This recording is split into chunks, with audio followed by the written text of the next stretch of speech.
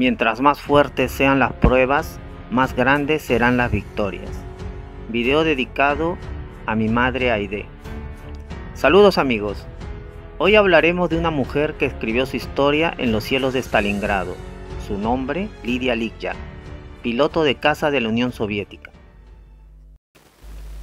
La Segunda Guerra Mundial es uno de los periodos más aterradores en la historia de la humanidad años de lucha en la que los hombres lucharon contra sus hermanos de las diferentes naciones, causando aproximadamente 60 millones de muertos y abriendo unas heridas que hasta el día de hoy, en algunos casos, no han cicatrizado del todo. Durante la guerra, muchos ejércitos cuentan con mujeres en sus filas. Británicas y estadounidenses realizan labores de retaguardia, pero es en la Unión Soviética, en la Gran Guerra Patria, donde las mujeres responden al llamado de la lucha. Cerca de un millón engruesan las filas del Ejército Rojo, en todos los puestos. Por primera vez en la historia, la mujer luchaba en primera línea en el campo de batalla, como conductoras de tanques, francotiradoras, zapadoras y aviadoras. Justo en esta última función nos detendremos para hablar de una de ellas. Acompáñenme a conocer la historia corta pero fascinante de la comandante del tercer escuadrón del Regimiento 73 de la Guardia. La subteniente Lidia Ligya, piloto de caza y heroína de la Unión Soviética. Se le atribuye el derribo de 12 aviones enemigos en solitario y 4 victorias compartidas, lo que la convierte en la as femenina más exitosa en la historia de la aviación hasta el día de hoy. Decía Lidia, cuando veo un aeroplano con las cruces negras y la esvástica en la cola, tengo un solo sentimiento, odio. Esa emoción hace que apriete aún más firmemente el disparador de mis ametralladoras. Lidia y su pasión por volar. Nace un 18 de agosto de 1921 en Moscú. Desde niña se siente atraída por la aviación. A los 14 años empieza a recibir clases de vuelo unos años más tarde, con su escasa juventud, ya es instructora en el Aeroclub de Kalinin, consiguiendo entrenar a 45 pilotos que obtuvieron la licencia con éxito. Sentía una admiración por su compatriota Marina Raskova, primera mujer aviadora en la Unión Soviética. Al producirse la invasión alemana en 1941, Raskova pone en marcha el grupo de vuelo especial 122, con solo pilotos mujeres. Su lema era podemos hacerlo todo. Lidia quiere alistarse, pero no tiene las horas mínimas de vuelo que se requerían, así que miente en su solicitud y es aceptada. Llega a la base de Angel, al norte de Stalingrado. El entrenamiento es durísimo. En meses debe aprender lo que normalmente se hace en dos años.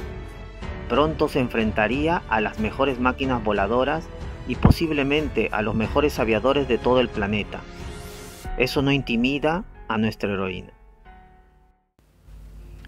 El Ejército Rojo tuvo en su Fuerza Aérea tres regimientos completos compuestos únicamente de mujeres. Uno de caza, el 586, otro de bombardeo pesado, el 587, y un tercero de bombardeo nocturno, el 588, apodado por los alemanes las Brujas de la Noche. Lidia perteneció al 586. Llevó a cabo sus primeras misiones de combate durante el verano de 1942 sobre Saratov. Debido a las grandes pérdidas de pilotos en Stalingrado, fue transferida con otras mujeres al Regimiento Masculino de Aviación 437. Allí, con un caza King LA-5, el 13 de septiembre de 1942, derribó sus dos primeros aviones enemigos, un bombardero Heinkel 111 y un caza Messerschmitt Bf 109, perteneciente al as el sargento Erwin Meyer, quien tenía 11 victorias en su haber y estaba condecorado con la Cruz de Hierro. Tras su derribo, Meyer pudo saltar en paracaídas. Al llegar a tierra, fue capturado por el ejército soviético. Entonces pidió que le permitiesen conocer al as que había sido capaz de derribarle. Cuando le presentaron a Lidia, una muchacha menuda de aspecto aniñado, que acababa de cumplir los 21 años, creyó que le estaban gastando una broma. Pero a medida que Lidia le detallaba la lucha en el aire, supo que era ella.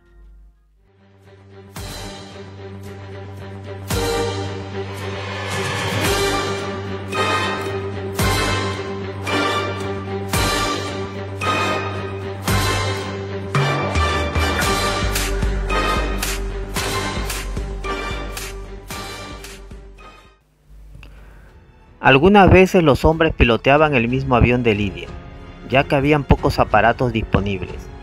Lidia era pequeña y bajita, entonces su mecánica tenía que ajustar los pedales y luego ajustarlos de nuevo cuando ella iba a pilotear. El 27 de septiembre comenzó a llamar la atención de sus superiores, al derribar un bombardero Junker Ju-88 en solitario y otro caza Messerschmitt junto a Raiza Beljayeva. Entonces Lidia, a la que todos llamaban Lily, quiso darle parte de su personalidad a su avión y le pintó un lirio blanco como elemento distintivo en el fuselaje de su avión. Pero a la distancia parecía una rosa, por lo que los alemanes la apodaron la Rosa Blanca de Stalingrado. A Lidia le encantaban las flores. Siempre llevaba un ramo en su cabina. Su mecánica Igna Paspornikova recuerda que una vez en Angel hicieron salir a Lidia de la formación matutina. Llevábamos el uniforme de invierno y ella había recortado los bordes superiores de sus botas altas de piel, a fin de hacerse un fular para su traje de vuelo. Marina Raskova, nuestra comandante, le preguntó cuándo había hecho eso. Lidia le contestó, durante la noche. Raskova le dijo que durante la noche siguiente, en vez de dormir, volviera a coser la piel en su sitio. Era muy extraño, había una guerra en marcha y esta rubia, esta chiquilla, estaba pensando en adornos para su traje. Me pregunté, ¿qué clase de piloto va a ser? Si no le preocupa nada más que su fular y su aspecto. El 11 de febrero de 1943, poco después de la victoria soviética en Stalingrado, Lidia hizo caer otros dos aviones. Nacía la leyenda de la Rosa Blanca de Stalingrado la muchacha de 21 años que hacía huir a los pilotos alemanes en cuanto distinguían aquella flor mortífera pintada en su fuselaje. Doce días después fue condecorada con la Orden de la Estrella Roja y ascendida a subteniente y seleccionada para integrar un grupo de élite llamado Cazadores por Libre. En él, dos pilotos de gran capacidad se elevaban para buscar blancos enemigos, siguiendo sus propios instintos sin tácticas preconcebidas. Cuando Lidia se aproximaba al aeródromo después de una victoria, era imposible no verla. Se ponía a hacer acrobacias sobre el campo de aviación. El comandante del regimiento se enfadaba y decía, la voy a destrozar por esto, le voy a dar una lección. Después de aterrizar Lidia preguntaba, ¿me ha gritado mucho papá? Y él le gritaba, pero después se admiraba de lo que había hecho. El 23 de marzo resultó herida en combate y tuvo que realizar un aterrizaje forzoso, pero se recuperaría pronto. El último vuelo de Lirio Blanco. En mayo de 1943, la tragedia comenzó a acechar a Lidia. Su compañero y esposo, el piloto de combate capitán Alexei Solomatin, héroe de la Unión Soviética, murió en un accidente. Inicialmente Lidia estaba a cargo de Alexei como compañera de trabajo para encubrir los combates. Un día, después de una dura batalla, mirando a su niña de ojos azules, le dijo, Lidia, tú eres un milagro. Su simpatía se convirtió rápidamente en amor. Después de un vuelo, le dio un pequeño cuchillo con un mango estampado, Lidia lo metió en un estuche de cuero y lo enganchó en su cinturón, y nunca se separó de él. Pronto se casarían. Ella estaba muy enamorada, así lo contaba en una carta a su madre. Después de la muerte del joven capitán, ella quedaría muy afectada. A partir de ese momento solo quería volar en misiones de combate, y lo hacía con mucho más furia y desesperación. El 31 de mayo se presentó voluntaria para derribar un blanco extremadamente difícil y peligroso, un globo de observación. Usando estos globos el enemigo podía asignar blancos precisos para la artillería. Muchos pilotos habían intentado destruirlo, sin conseguirlo, ya que estaba protegido por una fuerte barrera antiaérea.